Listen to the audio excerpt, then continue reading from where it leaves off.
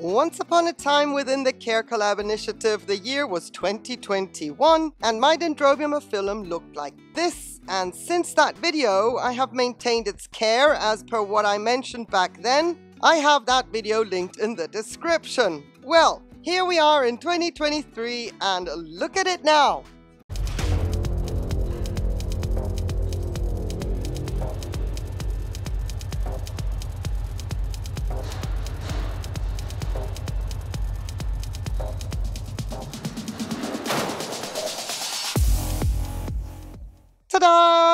I have some buds and each cane is already starting on a new growth, so I have high hopes that this year will be the year for some more substantial growth in the lengths of the new canes. Just kidding! If you've been with my channel from the start, you will know that these are my class of 2020 keikis. I just could not resist a little bit of fun to give you an update on how these are doing seeing as my video is an update on all my ongoing film shenanigans on the patio. As you can see, these keikis were mounted on an inorganic version of a mount, which is in actual fact a combination of a placemat for a sandwich Tupperware and hob filter material for an extractor fan to allow for water retention and maintaining humidity in my super dry climate here in southern Spain. The mount is doing its job, but these keikis are really slow coming out of the gate because I have a parallel mount going on at the moment, which I call my monster mount, and the keikis on this mount are from the class of 2021 and 2022. The material is the same extractor fan filter within a burrito-like wrap of a PVC netting that could serve as a barrier for some crop plants in a vegetable garden. It is flexible and UV resistant, making it easy to pin together, keeping the filter material well contained, allowing gravity to pull the water down to the lowest point of the mount where humidity will remain high seeing as I'm banking on many roots to start growing on the lower keikis and grow into the material right out of the gate. But you see how long the canes from 2022 are that grew and developed on that mount, in comparison to the short canes on the 2020 mount. Methinks that there is a need for more filter material on the small mount in order to accommodate the demand for more moisture during the active growth of the new canes, However, my little mount is firmly attached to the iron grate, so I'm going to have to come up with something that will not compromise the existing root system too much, while still adding more filter, or just change the mount altogether. I don't know, we'll have to wait and see what I come up with. Because, look at the mother plant. The four class of 2020 keikis on the little mount were the test keikis for the prototype of inorganic mounts I was trying to get to work back in 2020 because I stuck all their other classmates on the top of the mother plant's mount and check out the extent of their growth in comparison.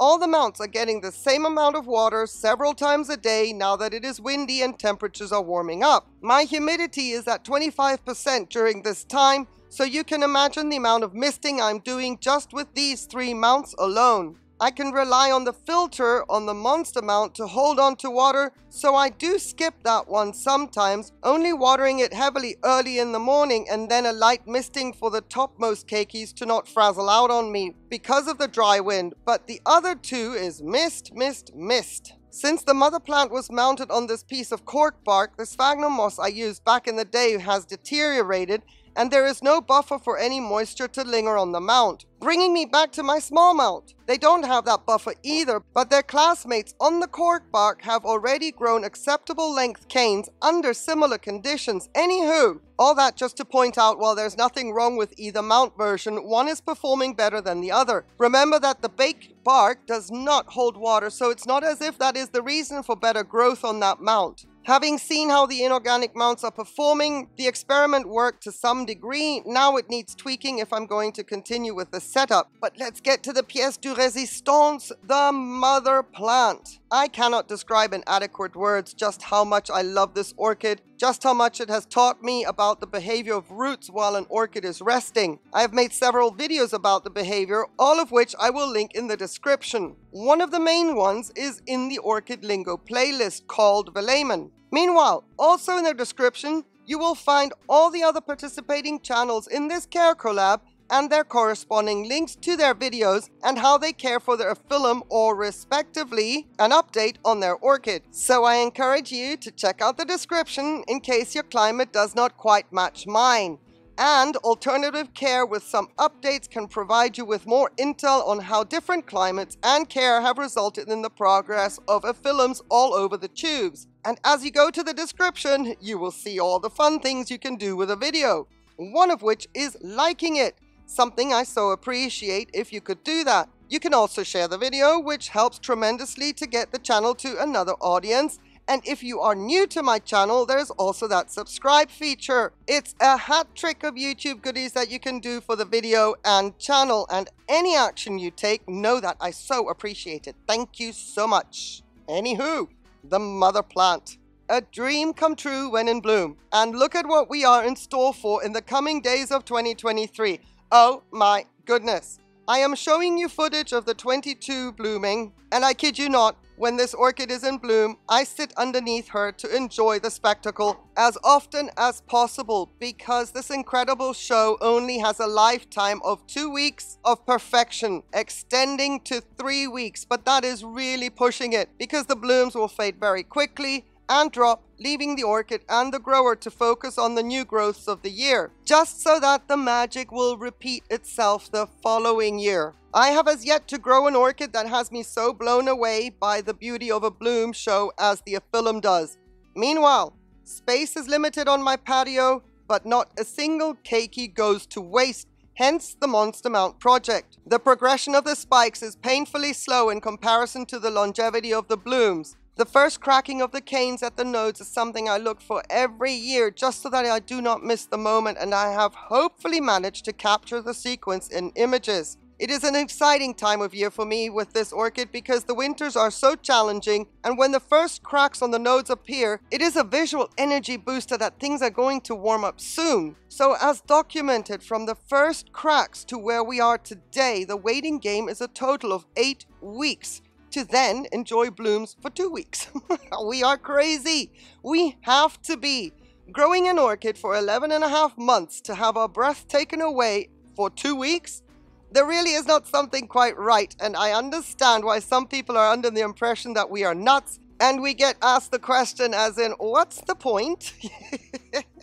and then even going to the extent of separating canes from each other to avoid abrasions that could pop off the spikes when the wind blows them, putting a chair to combat any strong wind gusts of bashing the gate against something and cracking a cane, tying the gate off to accommodate the wind gust from the opposite direction.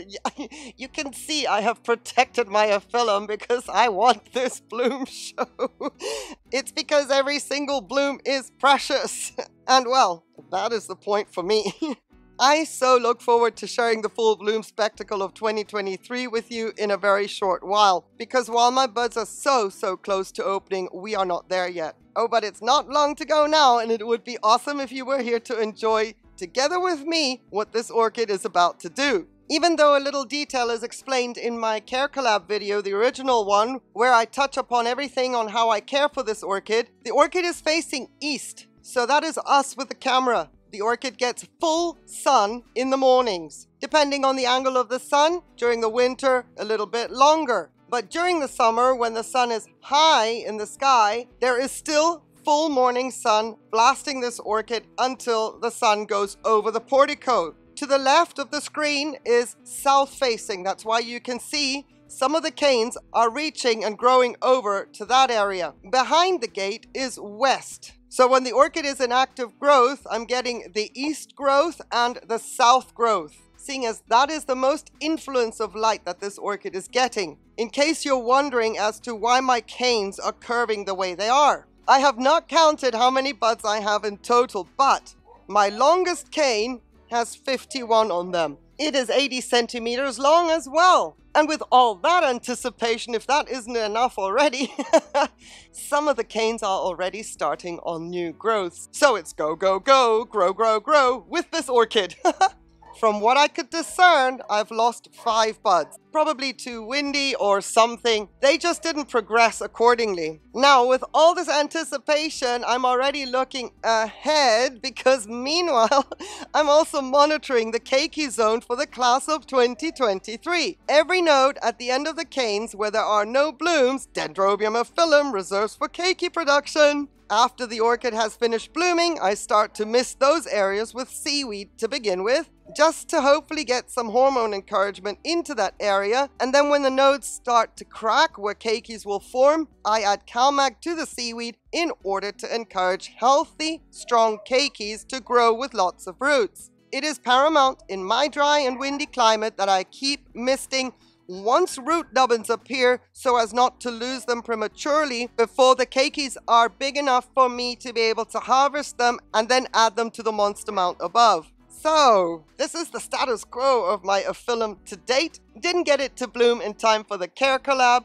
I'm sure there are some blooms in other videos, so I encourage you once again to check out the description and find the blooms of a Dendrobium aphyllum. But remember to subscribe just so that you don't miss out when the bloom spectacle begins here on the patio, as well as the start, progression, and harvesting of the class of 2023 keiki videos that will come in the future. And for everyone who has followed the journey of my aphyllum from jump, thank you so, so much for your support. And also, thank you for coming and looking at some bare canes with me, even though loaded with buds. I appreciate that you're here if you've made it this far. And if you have any questions that are not answered in my original Care Collab video about the care of my aphyllum, please ask away. The comments are there for a reason. And on that note, I wish you a wonderful day. On that one condition, though, please that you stay safe.